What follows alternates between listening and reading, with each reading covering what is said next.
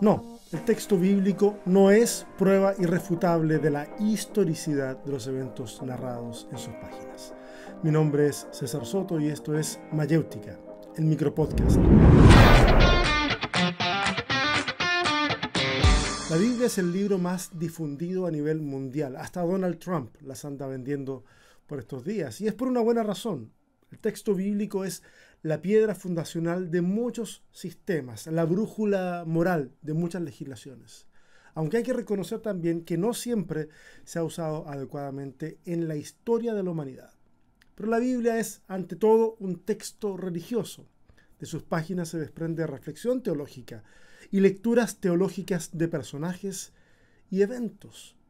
Para el lector confesional de la Biblia, esto debiera ser suficiente, los eventos ocurren en el libro y dentro del libro deben ser leídos como verdaderos, no necesariamente en el sentido factual, sino en el sentido de que comunican verdades trascendentes.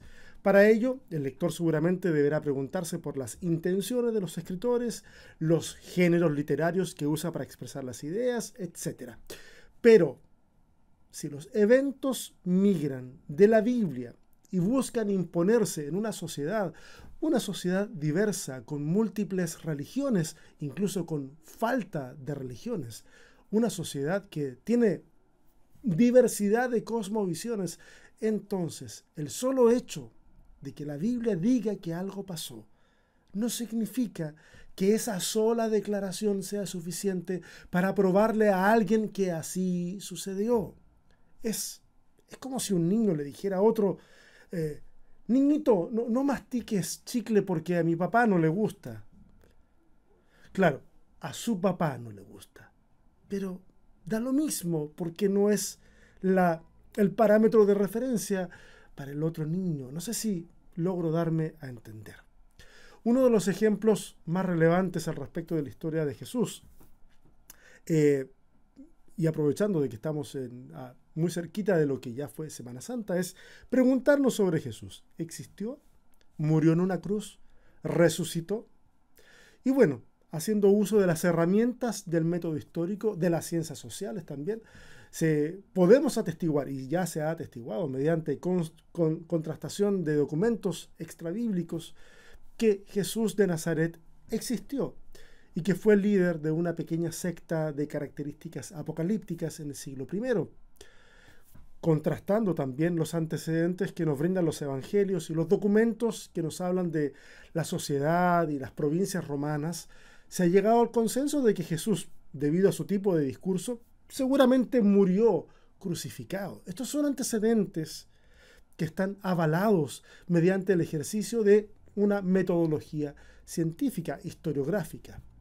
Estos datos en manos de los apologistas son como diamantes que prueban la veracidad de la Biblia. Ok, yo tengo mi drama con los apologistas, pero ese es tema para otro día. El tema es que cuando llegamos al tema de la resurrección, la metodología científica ya no puede hacer nada. Porque es simple, el evento simplemente escapa de los parámetros porque ya no se mueve dentro de lo natural. O sea, que una persona de tres días resucite digo, una persona muerta de tres días, resucite, evidentemente no es algo natural. Pero incluso si fuera aceptado como un hecho posible dentro del parámetro científico, bueno, no hay otros testigos textuales aparte de la Biblia. Es decir, no hay otros textos de la cultura circunvecina o de la misma cultura que hablen de que algo así haya ocurrido. Entonces acá entramos al campo de la fe. Y honestamente, yo no me quiero poner teológico en este espacio porque este espacio no es para, para hacerlo, pero, pero me permito hacer una pregunta. ¿Qué pasa cuando algo es comprobable y se cree en eso? A eso que ha recibido comprobación, eh, ¿se le puede llamar fe? Se los dejo para que piensen. Yo entiendo a los cristianos yo soy un cristiano y entiendo que los cristianos viven en la lógica de recopilar evidencias para que al mundo, a la sociedad, a, todo, a su vecino, quien sea, le sea imposible no creer. Pero me permito recordarles que ya que estamos hablando de la resurrección de Jesús, ese mismo Jesús resucitado, según el testimonio de los evangelios, nunca se le presentó a sus enemigos o a las personas que no creyeron en él, como Caifás o Pilato, podría haber sido muy bueno.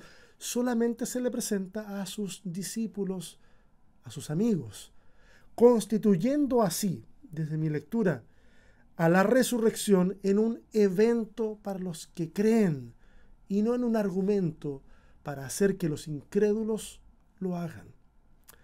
Se los he dicho, yo soy creyente y me permito darte un pequeño consejo. Yo te invito que disfrutes de la lectura de la Biblia sin querer restringir su validez al parámetro de la historicidad.